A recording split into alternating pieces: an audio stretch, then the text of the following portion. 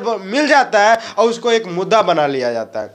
हालाँकि देश में इतना ज़्यादा गरीबी है, इतना ज़्यादा बेरोजगारी है, इन नेताओं को वीर सिंह अपना कक्षा वाले फ़ोटो को सोशल मीडिया पे वायरल करते हैं। शायद वही कंपटीशन से दीपिका पादुकोण भी पाठक जैसे फ़िल्म के बेसरमी जैसे गाने में काफ़ी चर्चा में चल रही है और जो फ़िल्म अभी तक आया ही नहीं, उसे बाइकआउट करने की बात चल रही है। उसे बाइकआउट करने की बात चल रही है और और हालाँकि इसमें कुछ नेताओं ने अपना मुद्दा बना करके इसे बाइकआउट करने की बात शाहरुख खान के उसी फ़िल्म का बात कर रहे हैं, जिसका नाम है पठान। और कुछ दिन पहले पठान फ़िल्म का जो है, एक गाना वायरल होता है। गाना दिया जाता है, जिसका नाम होता है बेशरम।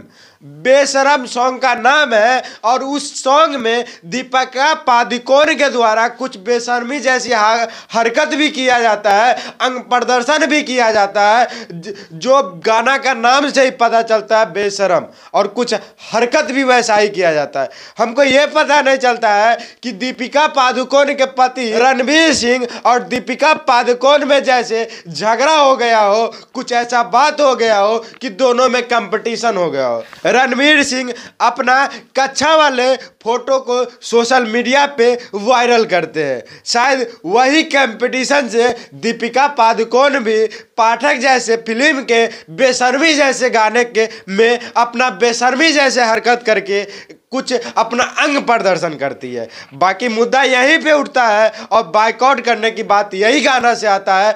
पाठक जैसे फ़िल्म को जो अभी तक आया ही नहीं और उसको बाइकआउट करने की बात चल रही है। बाकी पाँच मिनट का वीडियो है, उसमें दीपिका पादिकोण अलग अलग कपड़े में, लगभग दस कलर के कपड़े में आती है और अपना अंग प्रदर्शन करती है। जैसा कि आप वीडियो में जा कर के देख सकते हैं कि बेशर्मी नाम भी है और बेशर्मी जैसे हरकत भी किया जाता है। यही चीज़, यही एक मुद्दा बन जाता है, कलर भी एक मुद्दा बन जाता है। कुछ लोग, कुछ नेताओं को ये चीज़ बुरा लगता है कि वो जो पाँच मिनट में दस प्रकार के कलर चेंज करती है तो उसको कुछ एक भगवा कलर किया जाता है।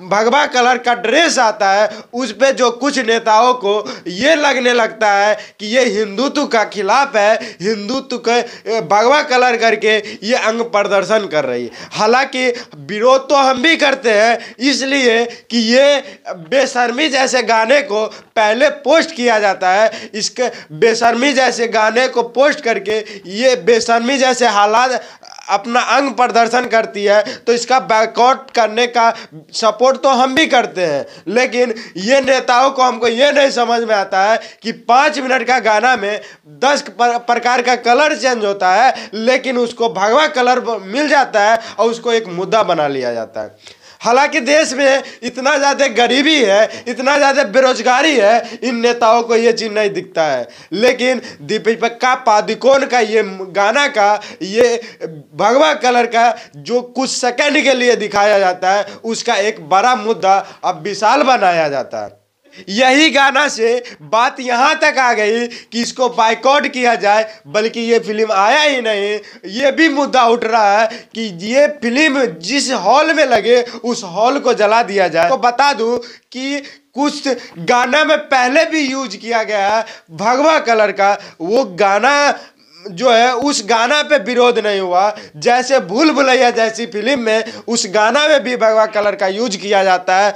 बीजेपी का सांसद निरहुआ दिनेश लाल यादव, वो भी अपने गाने में भगवा कलर का यूज़ करते हैं। और इस गाने में आखिर मुद्दा क्यों बनता है, ये हमको नहीं समझ में आता। अगर आप लोग को कुछ राय है तो कॉमेंट ज़रूर करें।